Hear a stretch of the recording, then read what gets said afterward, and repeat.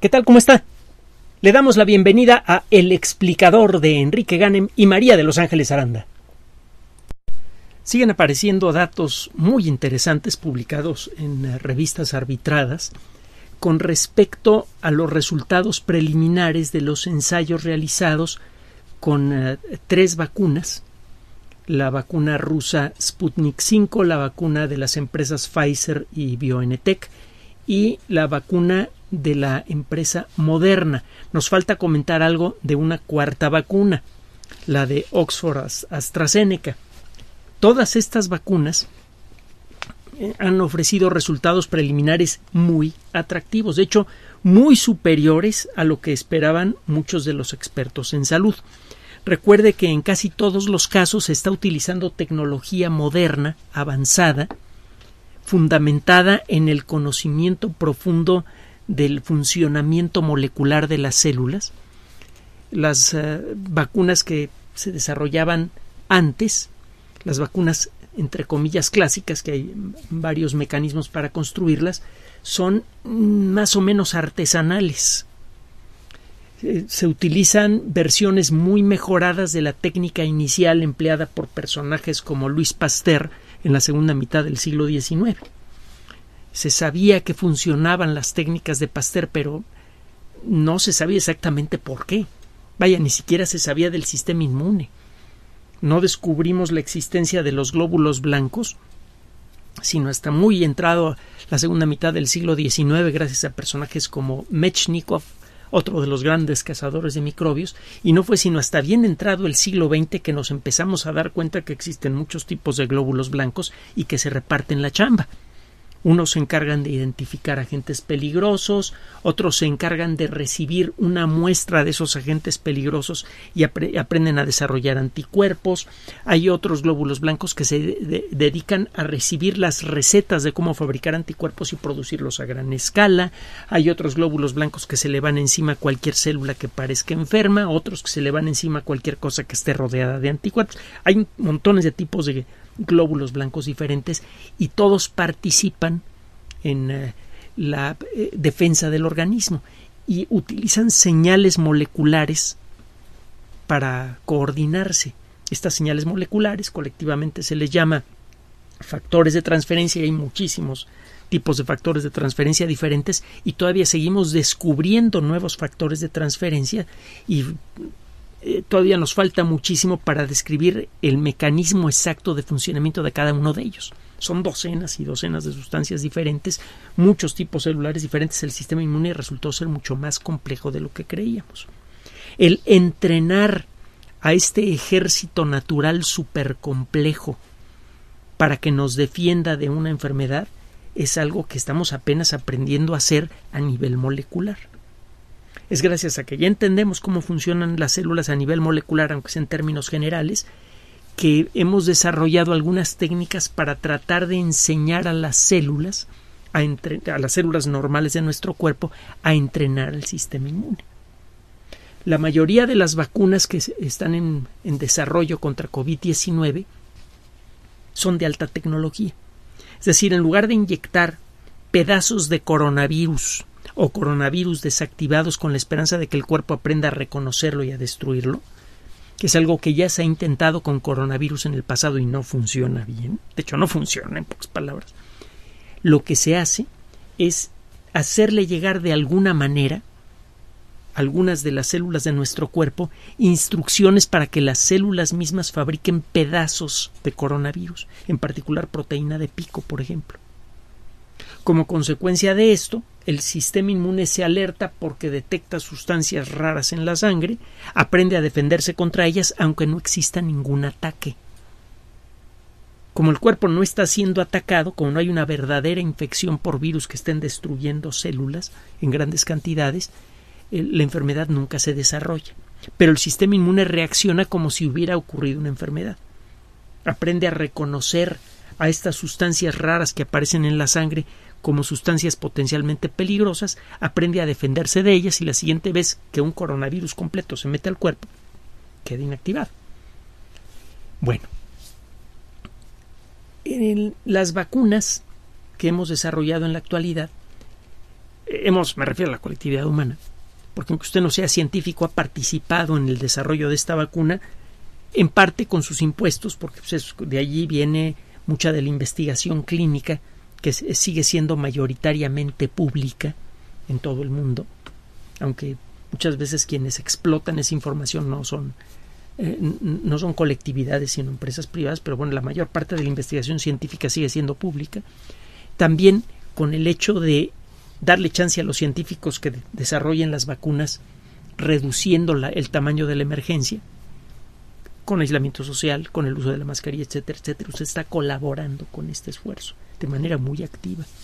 No sería posible dedicar tanto esfuerzo al desarrollo de las vacunas si se saturaran los hospitales porque hay demasiados contagios, porque la gente no se pone la, triste mascarilla y sigue saliendo tercamente a juntarse en grandes cantidades porque tiene ganas de hacer fiestas. Ya llegará el momento, no se preocupe, no estamos tan lejos. Bueno, regresando al tema varios expertos han dicho que, bueno, una vacuna que tenga un 50-60% de efectividad ya sería bienvenida. Entre otras personas, el doctor eh, Anthony Fauci, en los Estados Unidos, que tiene uno de los trabajos más difíciles del mundo en este momento, eh, ha dicho que mm, una vacuna que ofreciera un 70% de, de protección, que sí que 7 de cada 10 personas eh, vacunadas quede realmente protegida con la infección, sería ya algo fantástico. Y que un 90% pues eh, sería pues, un sueño guajiro, en pocas palabras, como decimos en México. Y resulta que el sueño guajiro parece que se está haciendo realidad. Ya hemos comentado los primeros resultados de efectividad calculada, estimada, para las vacunas que hemos mencionado, la de Pfizer y BioNTech, la de la empresa Moderna, la de Oxford AstraZeneca, la rusa, la vacuna eh, eh, Sputnik 5 y otras vacunas que se encuentran en nivel 2 y en nivel 1. Y muchas de ellas tienen niveles de efectividad como mínimo del 60-70% y normalmente llegan al 90%. Ahora, estos datos que están empezando a aparecer eh, en, distintos medios están eh, inquietando a algunas personas porque parece como que los científicos están echando para atrás en lo que decían. Por ejemplo, en el caso de la vacuna de Oxford y AstraZeneca. Esta vacuna, a diferencia de otras, eh, no involucra la inyección de ARN mensajero. Acuérdese que el ARN mensajero es una molécula relativamente aguantadora, fácil de reciclar, que normalmente se produce en nuestras células como parte del proceso de construcción de proteínas. La información para guardar, perdón, el lugar en donde se guarda la información para crear proteínas es el núcleo celular, en el ADN, que es una molécula bien frágil. Ahí se encuentran las recetas para fabricar todas las proteínas que necesita la célula para funcionar y todas las instrucciones para regular el proceso. Es un relajo bien complicadito y todavía seguimos sacándole un montón de, de, secretitos al, al, al ADN. Pero bueno, el asunto es que el ADN no es leído directamente para construir proteínas. Es una molécula demasiado frágil para estarla consultando frecuentemente.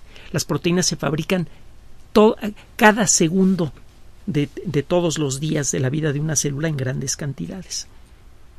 Pues, estar abre y abre y abre la molécula de ADN para revisarla no es práctico. El ADN es como una biblioteca con información muy valiosa que está escrita en hojas de papel cebolla. Está usted abriendo continuamente esos, eh, esos libros, se deshojan. Entonces lo que hace usted es fotocopiar la información a una molécula más resistente, fácil de fabricar, fácil de reciclar, que es el ARN mensajero. Esa esas fotocopias salen de la biblioteca central, que es el núcleo de la célula, y van a parar a la fábrica de proteínas, que es el retículo endoplásmico. Bueno, usted inyecta con una vacuna ARN mensajero que tiene instrucciones para fabricar proteína de pico de coronavirus.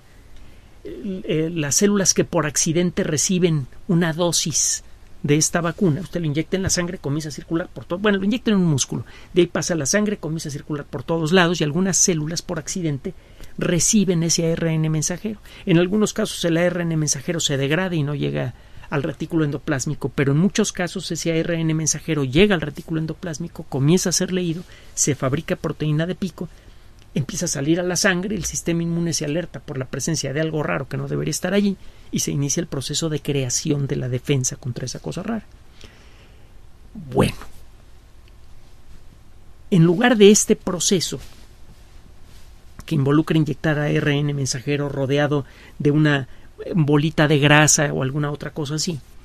La vacuna de Oxford AstraZeneca involucra un vector viral, es decir, un virus modificado que sabe infectar células pero no sabe enfermarlas. Se le llama vector en el mundo de la biología y en particular en el mundo de la epidemiología, por ejemplo, a cualquier elemento que sirva para transportar una enfermedad, el principio de una enfermedad y hacerla llegar a su destino. Un mosquito puede ser el vector que transmite la fiebre amarilla. Si un mosquito cargado con virus de la fiebre amarilla le pica usted y le da fiebre amarilla. Y, verá que no es nada agradable la fiebre amarilla. Mataba a la gente en grandes cantidades hasta que se desarrollaron técnicas de protección contra los mosquitos y, y otros, otros mecanismos. Bueno, el vector de una vacuna es aquel elemento biológico que puede hacer llegar la vacuna a su destino. El utilizar virus modificados como vectores de vacuna es algo que ya se viene haciendo desde hace algunas décadas. Entonces es una tecnología relativamente vieja. Se toma un adenovirus que produce gripitas es un adenovirus que afecta a chimpancés, que no infecta muy bien a células humanas, le quita usted algunos genes, le hace edición genética al virus, para que no pueda, para que pueda meterse una célula humana pero no pueda enfermarla. Y le agrega a usted además instrucciones para que fabrique varias proteínas diferentes de coronavirus, entre otras la proteína de pico. Entonces la célula que recibe al virus se pone a fabricar esas proteínas sin enfermarse y de nuevo eso dispara la reacción del sistema inmune. Bueno, esta vacuna comenzó a ser aplicada a gran escala por allá de julio y el 23 de noviembre, es decir, hoy, se presenta un análisis basado en ah, las observaciones parciales de este proceso de vacunación a nivel 3. Eh, cuando usted está haciendo una prueba nivel 3 de una vacuna, usted recluta una gran cantidad de personas, en este caso pues más de 30.000 personas, les inyecta a algunos la vacuna, a otros les inyecta el placebo, acuérdese que hemos platicado de las pruebas de nivel 3, de las pruebas este, de doble ciego en varias ocasiones. Más o menos la mitad de la gente recibe vacuna, la otra mitad recibe placebo. La gente que pone la inyección y la gente que la recibe no sabe si lo que están recibiendo es o no placebo o vacuna de verdad. El asunto es que estas personas hacen su vida normal y algunas se van a contagiar. Entonces usted ve de los que se contagiaron, usted que tiene los datos, que sabe quién recibió vacuna y quién recibió placebo, se pone a ver las personas que se enfermaron y dice, mira, pues el 90% de las personas que se enfermaron recibió placebo, solo el 10% recibió vacuna. Ah, eso es muy interesante. Yo esperaría, si, eh, si la vacuna no, de no funcionar la vacuna, yo esperaría que más o menos la mitad de las personas enfermas fueran personas que recibieron la supuesta vacuna que no funcionó y la otra mitad la gente que recibió placebo. Es decir, que da lo mismo dar vacuna que agüita, en pocas palabras. Si yo tengo estos dos grupos y les inyecto a unos una cosa y a otros otra y la vacuna no sirve de nada, si es como inyectar agüita, cuando se empiece a enfermar la gente yo voy a encontrar que aproximadamente la mitad pertenece a un grupo y la mitad al otro. Pero eso no es el caso la gran mayoría de las personas que se están enfermando es gente que recibió placebo. La gente que recibió vacuna casi no se enferma. Bueno, hay varios detalles con respecto a, a estos numeritos que hay que considerar que ya hemos mencionado antes.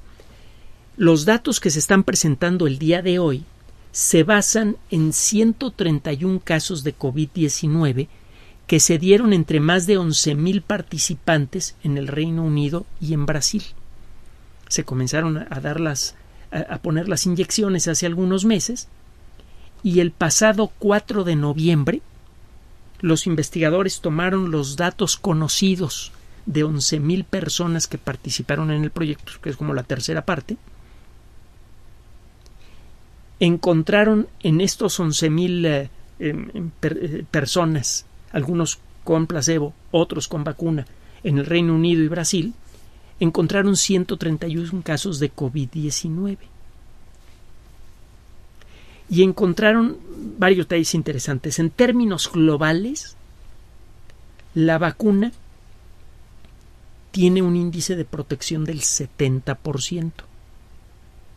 Es decir, si usted se espera dos semanas después de la segunda inyección, encuentra que algunas personas ya se están enfermando. Dos semanas después de la segunda inyección, la vacuna parece proteger a siete de cada diez personas que la reciben, la vacuna de verdad. Ya de arranque eso es muy bueno. Con eso ya le ganamos la carrera COVID-19, con un 70%. Pero hay algo más, algo raro que podría tener que ver con un rollo estadístico o con algún aspecto desconocido del funcionamiento del sistema inmune. Verá. Resulta que no está usted para saberlo ni yo para contárselo, pero si usted toma una persona, le pone una inyección pequeña la primera vez, media dosis, pasan dos semanas y luego le pone una dosis completa, esa persona recibe una protección diferente a la persona que recibe la dosis completa la primera vez y la dosis completa la segunda vez. Va de nuevo. No se le dio la misma dosis a todo mundo. algunas personas que sí recibieron vacunas se les dio media dosis y a otras personas se les dio una dosis completa. Las personas que reciben media dosis en la Acuérdese que son dos inyecciones. Usted se vacuna y a las dos semanas le ponen la segunda parte de la vacuna y ya, a ver qué pasa. Bueno, la gente que recibió vacuna sin saberlo, algunas de esas personas recibieron media dosis en la primera inyección y todo el mundo recibió dosis completa en la segunda inyección. Algunas personas, uno de estos grupos quedó protegido al 62% y el otro al 90%. Adivine cuál es cuál. Lo raro del asunto es que la gente que recibió media vacuna, media dosis en, la primera inyección y luego dosis completa en la segunda inyección parece haber quedado cubierta al 90%. Mientras que la gente que recibió la vacuna completa, la dosis completa la primera vez y la dosis completa la segunda vez quedó protegida al 62%. A la hora de hacer los promedios generales se encuentra que en términos globales, en esta prueba, la vacuna resultó un 70% efectiva. ¿Qué está pasando? Como que no suena, ¿no? Es decir, para protegerse usted tiene que dar una dosis grandotota de una vacuna la primera vez y luego otra dosis grandotota dos semanas después para que el cuerpo aprenda bien cómo está el, el saborcito de SARS-CoV-2 y la próxima vez que un virus se meta lo pueda detectar y lo pueda destruir. Pero no, se da primero una dosis. Estos resultados sugieren esto. Usted da una dosis pequeña, media dosis. La primera vez, dos semanas después, dosis completa y queda mucho mejor protegido. No, pues no me suena, ¿verdad? Pues tampoco le está sonando a muchos investigadores. Esto salió como consecuencia de, de un aspecto fundamental de la ciencia al que a veces se falta, hay que decirlo, pero que normalmente se respeta, que es la integridad a la hora de reportar datos. Un científico cuando hace experimentos puede toparse con, la, con una situación en la que el, eh, el experimento le produce resultados que no son los esperados. De pronto eh, en la realidad las cosas suceden de una manera muy diferente a como el mismo científico lo esperaba. Un mal científico corrige los datos. Aquí en México le decimos cucharearlos, que es quitarle o ponerle, figurativamente hablando, con una cucharita a, los numeritos que, que salieron del experimento para que todo quede bonito, para que todo suene lógico. El problema es que la ciencia es un proceso que sirve para descubrir las sorpresas que nos guarda la naturaleza. Si usted altera los datos de un experimento para que salgan lo que usted espera, nunca va a poder encontrar lo verdaderamente inesperado en, el, en la naturaleza. Un científico íntegro describe lo que hizo y describe sin alteraciones los resultados. Alguien puede criticarlo, puede decirle, oye, es claro que tú que no sabes montar experimentos, porque este experimento está mal montado, te faltó cuidar esto y esto y esto y por eso tus datos te salieron tan raros. Eso puede pasar. Y eso primero duele. Que carambas. Eh, muy científico, muy científico, muy objetivo, muy objetivo, pero pues, uno tiene su orgullito, ¿no? Pero por otro lado, si uno hace realmente las cosas mal, pues empieza a correr la voz. Y la próxima vez que pida usted recursos para hacer experimentos, igual y nadie se los da. Ese es un peligro real.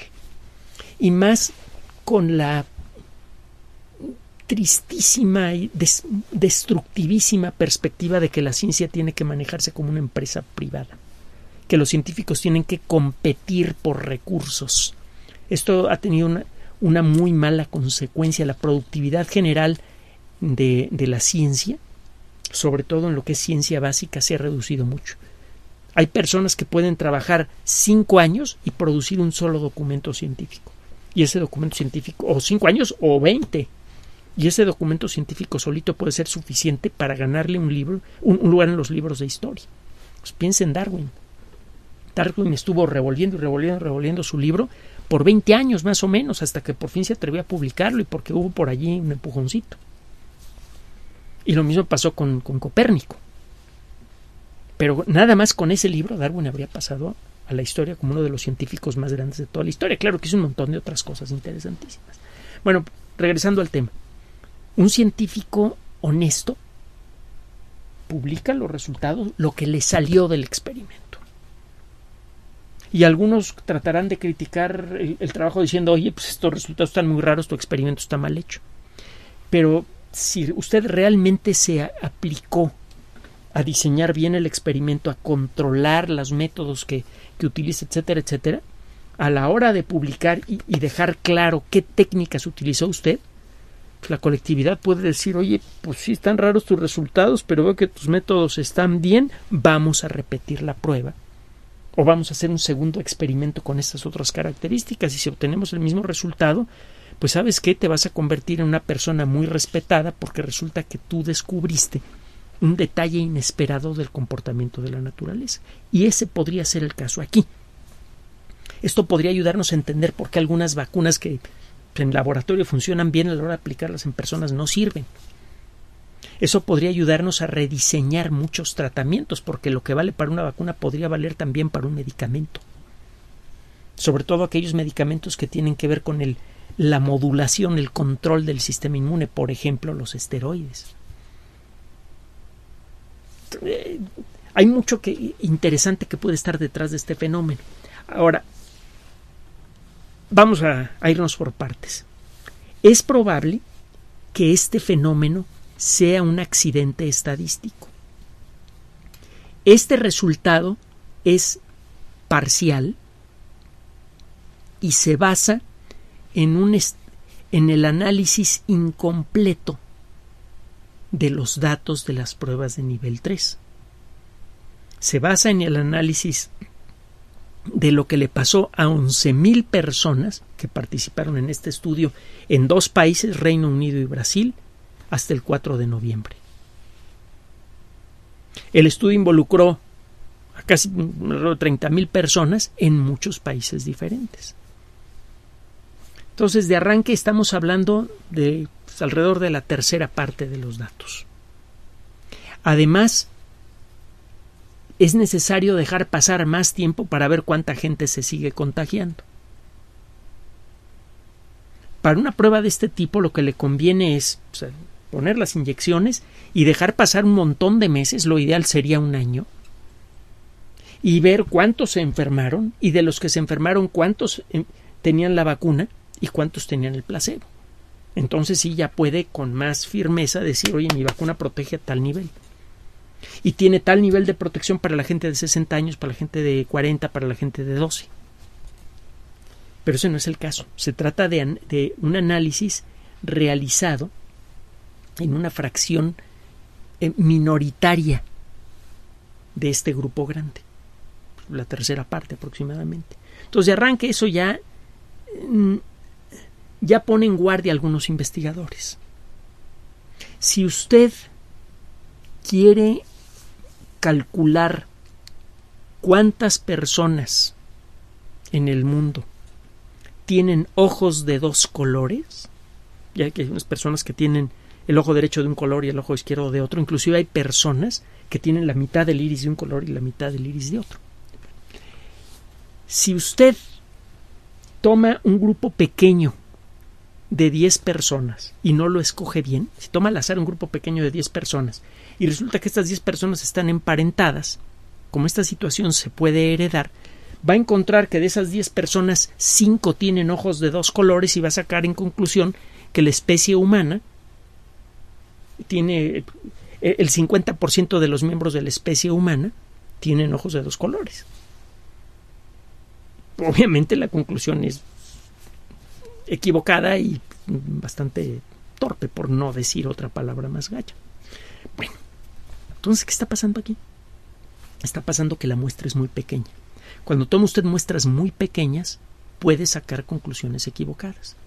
Ahora, hay que rascarle un poquito más a la información que eh, publicaron estas empresas, porque publicaron todo precisamente para que la colectividad pudiera analizar los datos y sacar conclusiones colectivas.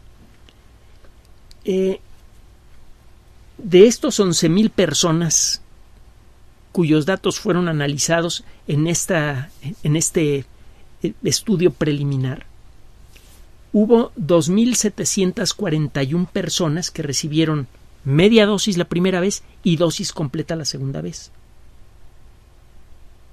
Ahora, las personas que recibieron dosis completa la primera vez y dosis completa la segunda vez son 8.895. ¿Y esto qué? Ahí le va. si usted quiere saber realmente qué tan efectiva es una vacuna, le conviene poner el mismo tipo de dosis a muchísima gente. Si tiene usted 10.000 candidatos, pues le pone a todos los 10.000 candidatos vacuna fuerte, las dos dosis fuertes al principio, eh, es decir, las dos dosis fuertes, primera dosis, segunda dosis, las dos dosis antes. Deja pasar un tiempo y ve cuántos enferman. En este grupo de 10.000 personas, por decir algo, va a tener usted gente de 65 años, gente de 35 años, niños, personas diabéticas, personas no diabéticas, personas con hipertensión, personas sin hipertensión de distintos rangos de edad. Si va a tener usted un grupo muy heterogéneo. Si usted quiere calcular la efectividad de la vacuna para subgrupos, por ejemplo, la gente de 65 años que también protegida quedó, la gente hipertensa que tan protegida quedó, en distintos grupos de edad, la gente con diabetes en distintos grupos de edad que tan protegida quedó. Necesita usted una base de datos muy grande, es decir, haberle inyectado la vacuna experimental a muchísimas personas para que cada subgrupo tenga muchos representantes suficientes para decir, oye, la vacuna sí sirve o no sirve en estos casos. La vacuna es menos efectiva en diabéticos, por inventarme algo. Si usted quiere decir eso con, con firmeza, necesita generar un, grupo gigantesco de miles y miles de personas, de todo tipo, diabéticas, no diabéticas, eh, de eh, más de 65 años, de menos de 65 años, eh, hombres, mujeres, personas de distintos grupos étnicos, etcétera, etcétera, para poder empezar a dar datos más precisos. Ahora, un grupo, si usted va a comparar dos grupos, personas a las que les di media dosis y luego dosis completa y personas a las que le di dosis completa la primera vez y dosis completa la segunda vez, los dos grupos deberían ser iguales. Si los dos grupos son iguales o más o menos del mismo tamaño y distingo una diferencia, entonces sí ya puedo decir con seguridad, oye, dar primero media dosis y luego dosis completa es mejor o peor que dar las dos dosis completas, este, una y dos semanas después la otra. Pero el asunto es que estos dos grupos no son iguales. Uno es más del doble que el otro. Uno es 2.741, el, el grupo de personas que recibieron media dosis y luego dosis completa, y el otro es 8.895. Es casi tres veces, casi tres veces más grande. Entonces, el hacer comparaciones estadísticas en estas circunstancias puede generar errores. Es probable que las dos vacunas sean igualmente efectivas.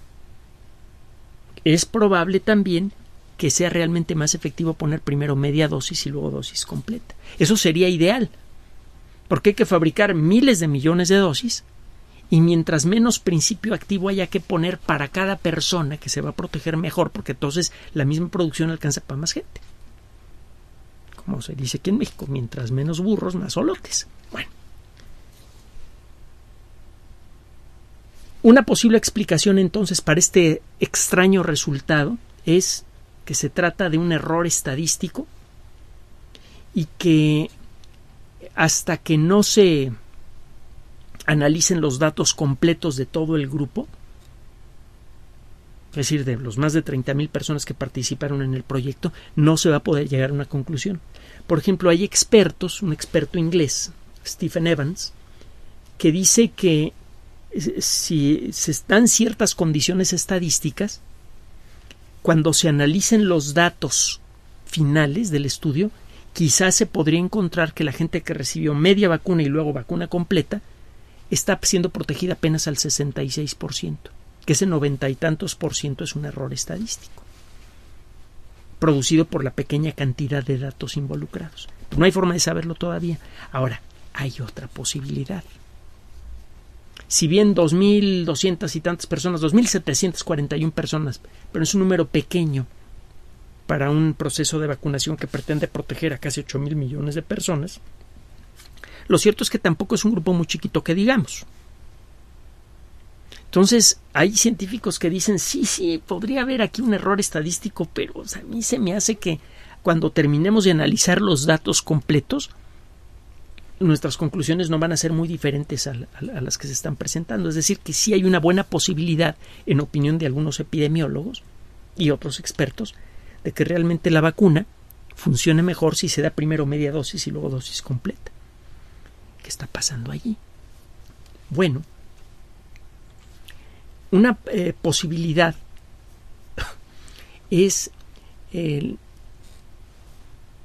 que probablemente cuando se da una dosis pequeña, eso hace que se enfermen. Acuérdese que esa dosis pequeña lleva una cantidad pequeña de virus, de adenovirus modificados, que van a pegarse a células de nuestro cuerpo y les van a instruir cómo fabricar proteína de pico y otras proteínas del virus. Esta vacuna no solamente produce proteínas de pico, sino también otras proteínas de virus. La fábrica se convierte en una perdón, la célula se convierte en una fábrica de proteínas de virus y eso le sirve de muestra al sistema inmune. El sistema inmune aprende a defenderse de cosas que tengan proteína de pico y también que tengan tales otras proteínas que son proteínas de coronavirus. Bueno, para que esto pase es necesario que un grupo particular de glóbulos blancos, las células T, aprendan el sabor de esas proteínas de virus y aprendan a fabricar anticuerpos. Hay un subgrupo de, glóbulos blancos que se dedican a fabricar anticuerpos, a, a construirlos. Se les da una muestra de la proteína contra la que hay que defenderse y estas células que actúan como cerrajeros moleculares aprenden a construir llaves que se peguen a esa cerradura. Aprenden a construir llaves moleculares, los anticuerpos que se le pegan muy bien a esas cerraduras moleculares que son las proteínas de pico y otras proteínas del virus. Hay algunas teorías que dicen que cuando se satura el cuerpo con moléculas que vienen de afuera, moléculas de algún invasor, el sistema inmune se alarma y ya no procede de la misma manera para defender al organismo. El proceso de detección de proteínas y la construcción de anticuerpos podría ser un proceso largo y lento. Si usted da hace que el cuerpo empiece a producir demasiada proteína de pico, se podría disparar una señal de alarma y el cuerpo, en lugar de tratar de, proteger, de, de darle prioridad al proceso lento de construir los anticuerpos, podría reaccionar de otra manera si el proceso de producción de, de anticuerpos podría verse entorpecido si en el cuerpo de pronto aparecen demasiadas moléculas que alarman el sistema inmune. si aparecen en pequeñas cantidades, el sistema inmune tiene, tiene su proceso de, de, de revisión molecular y de construcción de anticuerpos normal, que es un proceso que cuando funciona bien es excelente para protegernos de cualquier cosa, hasta del cáncer. Muchas células cancerosas son destruidas a lo largo de nuestras vidas por los glóbulos blancos. De hecho, eh, muchas de las mejores terapias contra el cáncer podrían venir por ese camino. Entonces, una teoría es que si usted pone una vacuna demasiado mm, abundante, el cuerpo va a reaccionar mal. No va a defenderse como debe. Las células T no van a aprender a... Eh, se van a apurar a hacer otras cosas en lugar de fabricar anticuerpos, en pocas palabras. Otra posibilidad es que por la forma de reaccionar de nuestro sistema inmune, una invasión extrema bloquee por completo la producción de anticuerpos.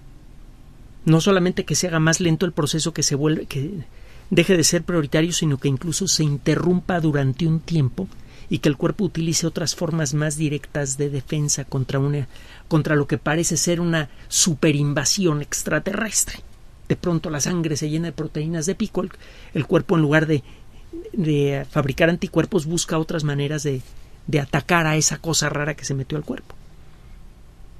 Como esa cosa rara no es una verdadera enfermedad, el cuerpo no tiene tiempo de aprender a defenderse contra esa cosa rara y entonces el cuerpo no queda vacunado. Si resulta, todavía falta por ver cómo está el rollo, si resulta que esto es cierto, que realmente media vacuna bueno, media dosis y luego dosis completa funcionan mejor que dosis completa y segunda dosis completa, entonces estamos frente a un detalle del funcionamiento del sistema inmune que desconocemos. Y eso es mucho, muy importante para usted, para mí y para todos. Muchas de las enfermedades que hay en la actualidad que no tienen un tratamiento realmente efectivo son autoinmunes. Busquen en la Wikipedia enfermedad autoinmune y va a ver la lista grande de enfermedades autoinmunes que hay. Muchas que se creían que eran causadas por otras cosas son enfermedades autoinmunes. La lista es larguísima. Eso por un lado. Por otro lado, muchos problemas graves como el cáncer se podrían resolver solitos si pudiéramos controlar mejor el funcionamiento del sistema inmune. En todas las variedades de cáncer ocurren lo que se llaman las eh, eh, remisiones espontáneas. Que una persona se está muriendo, que le quedan pocas horas de vida a veces, y de pronto se levantan se quitan los tubos que tienen encima y van a pedir comida. Y, ya se quieren salir del hospital y todo, y a la hora de revisarlo resulta que el cáncer se fue. Parece un milagro. Se sabe ahora, porque se han podido estudiar algunos casos, que eso tiene que ver con, con que el sistema inmune de pronto como que reconoce las células cancerosas y se las chuta en un momentito. Bueno, si pudiésemos, no podemos disparar ese proceso a voluntad porque no entendemos bien el funcionamiento del sistema inmune. Si aquí aparece un nuevo fenómeno relacionado con el sistema inmune, se podría ayudar a darnos la clave de cómo disparar una respuesta fuerte del sistema inmune cada vez que se nos pegue la gana. Y con eso podremos acabar con un montón de enfermedades. El cáncer se curaría con una pastilla o con una inyección. Cualquier forma de cáncer, no importa en, qué, en dónde estén las células cancerosas. Si el sistema inmune aprende a reconocerlas, las destruyen donde estén. Eh, hay mucho en juego detrás de, eh, de, estos trabajos y por eso es tan importante que los científicos de eh, Oxford AstraZeneca hayan publicado los datos como los publican y como lo hacen los científicos en general, con honestidad, aunque parezcan chocantes, aunque parezca que esos datos van a revelar que metieron la pata al hacer su estudio es la integridad de los científicos que reportan los resultados normales y los que no parecen tan normales, lo que permite hacer descubrimientos interesantes. Entonces, esto está en la balanza. La vacuna es efectiva, no se preocupe. Aunque fuera un 66% efectiva, ya con eso la hacemos. Pero va a ser bastante más efectiva. Lo que no sabemos es qué tanto más y en qué circunstancias. Cruce los dedos porque este asunto de la media, media dosis y luego dosis completa realmente sea un efecto real. Porque además de tener una vacuna muy efectiva con dosis bajas, es decir, que la misma producción de vacuna va a alcanzar para más gente, esta vacuna va a ayudar a revelar nuevos aspectos del funcionamiento del sistema inmune. Falta por mencionar otro detallito más. Esta vacuna eh, funciona muy bien a temperatura de refrigerador. Es mucho más fácil de conservar. Todo parece indicar que es mucho más barata de producirse a gran escala. Entonces, va a ser, si todo va por buen camino, va a ser una vacuna barata de producir, una vacuna fácil de conservar y fácil de distribuir y por lo tanto barata de aplicar. Y si es necesario refrendarla cada cierto tiempo porque la protección contra coronavirus no dura mucho tiempo, no importa. Se van a poder fabricar las dosis necesarias para mantener protegida la población, se cortan las cadenas de contagio y adiós SARS-CoV-2. Así de fácil. Entonces, siguen las buenas noticias con respecto a la pandemia de COVID-19 y al trabajo que, hace el, el mundo científico para acabar con ella. Paciencia, optimismo. ¿Es una situación difícil? Lo es. Pero estamos del lado ganador. Es solo cuestión de esperar el tiempo necesario para que la ciencia haga su trabajo y usted puede colaborar protegiéndose a usted y a su familia con las medidas que ya conoce. Gracias por su atención. Además de este canal oficial en YouTube, tenemos nuestro sitio web www.lexplicador.net, las redes sociales de siempre, Twitter Enrique-Ganem, Facebook Enrique Ganem, sitio oficial. Recuerde que también por sugerencia suya tenemos abierto un espacio en Patreon, el explicador Enrique Ganem, y en, PayPal, el explicador patrocinio arroba gmail.com, gracias a los cuales sostenemos este espacio. Finalmente, el explicador siempre somos María de Los Ángeles Aranda y Enrique Ganem. Gracias.